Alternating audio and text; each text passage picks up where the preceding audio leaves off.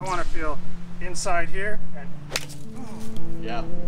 orbit pull that thing. When you asked me the other day, uh, Yeah, you know, one what- simple thing to one, get better. one simple thing for most people, if they want to hold shaft flex and get that feeling, we just just take a shorter back so you get more aggressive going through. That's gonna do gonna do a lot. I mean, if I just have a little, little short back swing, I'm just you know, Yeah. I'm gonna I'm gonna make better contact. I'm gonna get aggressive. Hey guys, thanks for watching. I'm in the backyard of John Erickson, and John uh, done a bunch of videos. You- You'll you'll see them uh, slowly trickling out on Be Better Golf if you have clicked the subscribe button. So do that. But uh, something I wanted to talk to you today is we were talking about what really happens through impact, and I know there's a really big debate on golf as far as like I don't know exactly how these torques and stuff work. Uh, somebody in the comments who knows exactly, please put it. But I know that there's alpha torque, beta torque, and gamma torque, something like that. But basically, what it is is there's forces and torques across the shaft. So some people are saying through the hit, you're pushing the aft side of the shaft like this through the shot, and some people are saying no. A lot of the guys like uh, Dr. Kwon and Sasho MacKenzie and some people think that once you get here, that's the lowest point, and then from here you start pulling, coupling the hands, and they go up and around left this way like this. oh, I like that. And somebody and you had mentioned something called the orbit pull. Yeah, that's that would word I- fit I into your yeah. philosophy uh, of something you coined called the orbit pull. So I'm just going to hit a, a, a small shot here and tell us what you meant by that. That's the first time we've ever There done that. There you go. Caught on video. Okay, so what is the orbit pull, or what I've described? So uh, I mentioned before that what we teach here, we want to we want to hook our way into impact. So we're coming from the inside.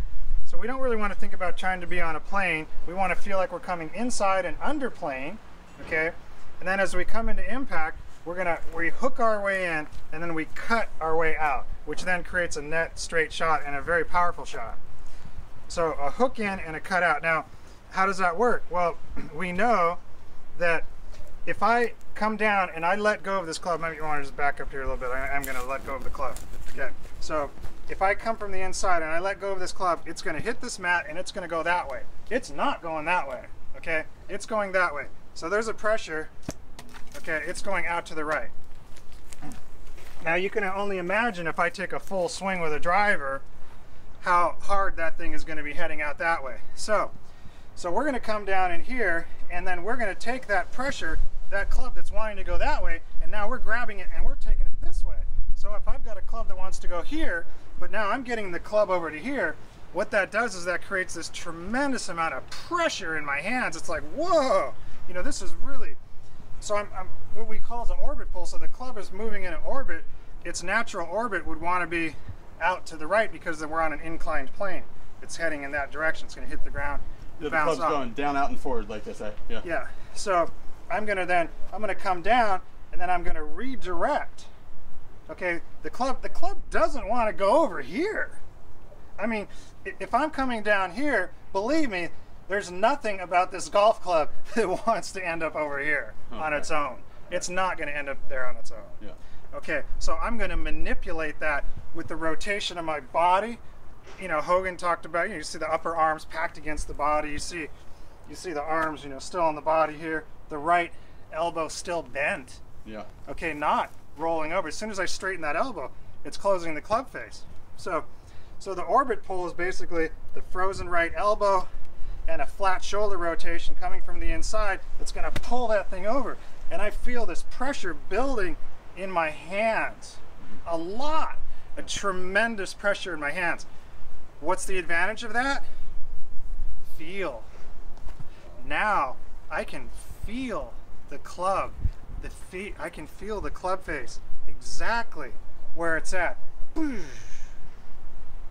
Okay, because of the pressure in my hands. It's not just coming down and letting centrifugal force just do its thing and I'm just guessing and hoping Yeah. and praying. I'm just gonna I hope the timing's good here. You know, I hope Yeah, it is. yeah. I can't feel the club, but if I practice enough and I, you know, work on my low point and I have this long swing and I'm just gonna try and time this. Uh-uh, not me. I'm not doing that. You know, I want to feel inside here and Yeah. Orbit pull that thing. John, show me when we first uh, were chatting uh, through the phone. You told me like, okay, I want you to take a short swing and have your elbow here, and hit the hit balls where your elbow is always connected, kind of Yes. like you were showing there. Like- I just did there. And you, so let's can slow that down. let me see that drill there. yeah. So the frozen right elbow drill, Yeah. my you can see my elbows bent here. You can see my elbows bent here. Yeah, I'm gonna try that because I'm not Okay. able to do that normally.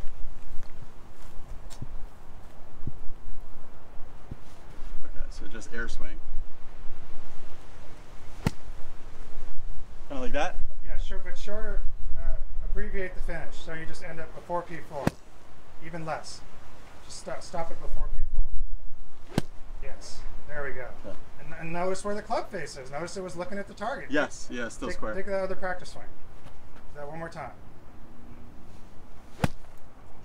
Abbreviate it. time stopping. Abbreviate it. Now look where the club face is. It's Yeah. Looking at the target. It's not Mhm. rolled over. Now go ahead and hit the ball. Do the same thing. Really abbreviate it into the into P4. Too, too hard. Abbreviate it. Take a shorter backswing. Shorten the backswing. But s- go aggressive. I want you to shorten the backswing, go aggressive, and abbreviate it at P4 or before. Try and Yep. stop before. Even more.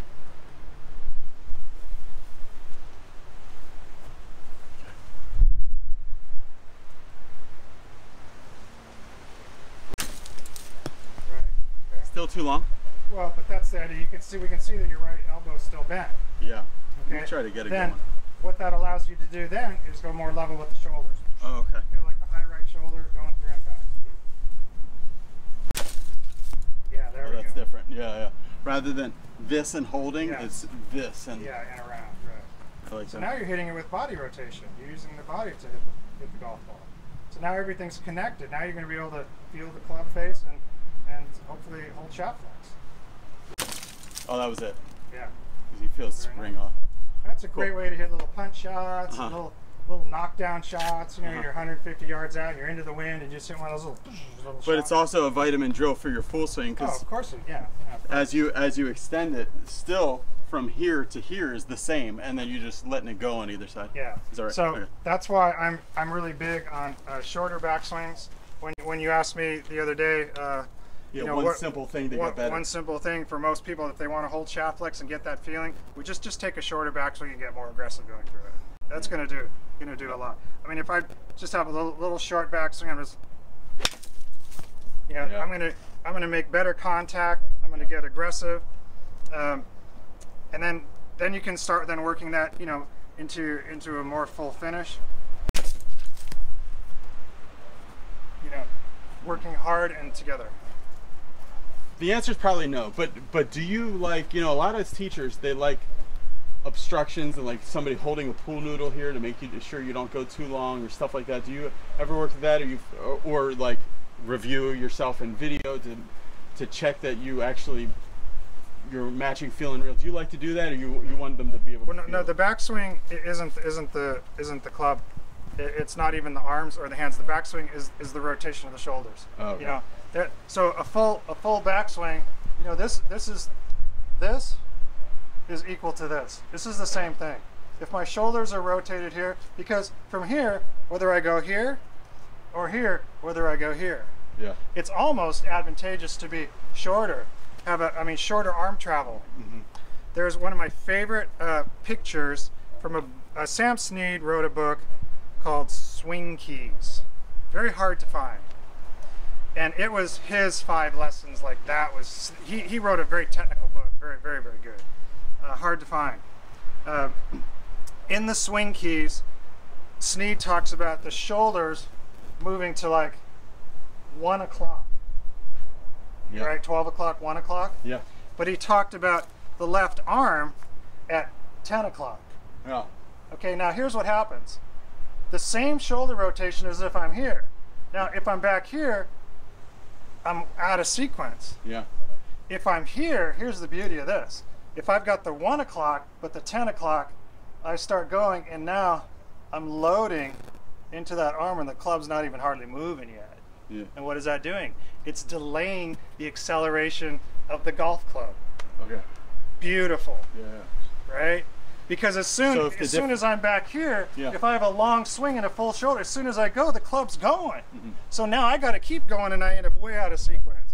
But here, one o'clock, ten o'clock, I move into the arm, You swing into the and then this thing starts picking up speed, Yeah. and we're moving our acceleration point. If we can make it all the way to the ball like the greats did, Yeah. you know, when I'm really on, I can do it. When I'm off, I'm not doing it. I'm human too. I have problems too. You might maybe on these videos it might not look as good, but but um, but we want to move our, our maximum uh, acceleration. We want to not I shouldn't say our maximum acceleration. We want to move our acceleration rate to closer to the impact. Yeah. It, does that make sense? Yeah. Yeah. So if we're hitting maximum acceleration here, we want to. If we can get it here, we're going to be better golfer than if it's here. Okay. Right. Okay. Right. right. And if we can get it to here, we'll be better than here. And if we can get it to here, you know, you might be the next greatest striker of all time. All right, guys. Thanks for watching. Uh, everything you need to know is in the description of this video. Click the subscribe button. I think you guys would be particularly interested in learning about this. If you like this kind of content, you'll really like the stuff that uh, John's going to be coming out with soon about Ben Hogan, because uh, he, I think, is keyed into something that other, there's a lot of opinions on, on Ben Hogan, but uh, John thinks he can prove what he's saying definitively. Well, watch the videos. Yeah. yeah. All right. Thanks for watching. Bye. Thanks.